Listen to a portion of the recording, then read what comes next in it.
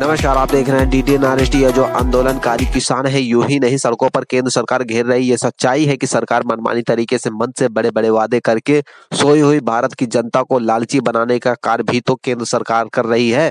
अब जनता जब आपके वादे का अपना हक मांग पर डटे हुए पेश एक रिपोर्ट पानी का खर्चा, मजदूरी का खर्चा, बिजली का खर्चा बीज का खर्चा, खाद का खर्चा, दवाई का खर्चा, जितना भी उसकी लागत लगती है, उस लागत के ऊपर उसका 50 प्रतिशत प्रॉफिट लिया जाएगा और उसको मिनिमम सपोर्ट प्राइस से खरीदा जाएगा।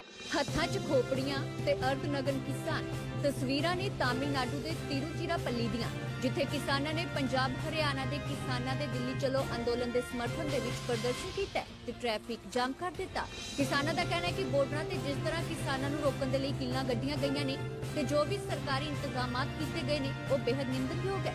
ਕਿਸਾਨ ਨੇਤਾ ਦਾ ਕਹਿਣਾ ਹੈ ਕਿ ਮੋਦੀ ਸਰਕਾਰ ਨੂੰ ਕਿਸਾਨਾਂ ਦੀਆਂ ਮੰਗਾਂ ਮੰਨ ਲੈਣੀਆਂ ਚਾਹੀਦੀਆਂ ਨੇ। ਤੇ ਜੇਕਰ ਸਰਕਾਰ ਨੇ ਪੰਜਾਬ ਹਰਿਆਣਾ ਦੇ ਕਿਸਾਨਾਂ ਦੀ ਜਲਦ ਸੁਣਵਾਈ ਨਾ ਕੀਤੀ ਤਾਂ ਤਾਮਿਲਨਾਡੂ ਤੋਂ ਵੀ 5000 ਤੋਂ ਵੱਧ ਕਿਸਾਨ ਵਿਰੋਧ ਪ੍ਰਦਰਸ਼ਨ ਦੇ ਲਈ ਦਿੱਲੀ ਪਹੁੰਚਣਗੇ।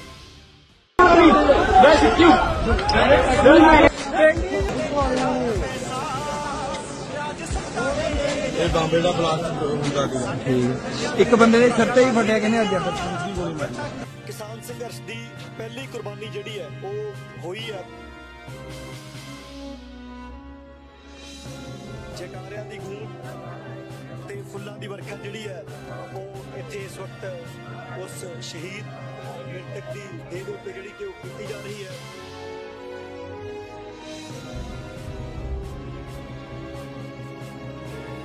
ਮੌਤ ਦਾ ਜ਼ਿੰਮੇਵਾਰ ਕੌਣ ਮੋਦੀ, ਜਿਹੜਾ 13 ਤਰੀਕ ਤੋਂ ਚੱਲ ਰਿਹਾ ਸੀ ਧੂਆਂ। ਅਖੀਰ ਉਹ ਜਵਾਬ ਦੇ ਗਿਆ, ਸਵੇਰੇ ਉਹਦਾ ਸਿਰ ਦੁਖਿਆ। ਰਾਜਪੁਰੀ ਰਾਜਪੁਰੀ ਹਸਪਤਾਲ ਲੈ ਕੇ ਗਿਆ ਉੱਥੋਂ ਅਗਲੇ ਰੈਫਰ ਕਰਤਾ ਰਜਿੰਦਰਾ ਤੇ ਰਜਿੰਦਰਾ ਦੇ ਵਿੱਚ ਪੌਣੇ 8 ਵਜੇ ਡੈਡ ਕਲੀਅਰ ਕਰ ਦਿੱਤਾ।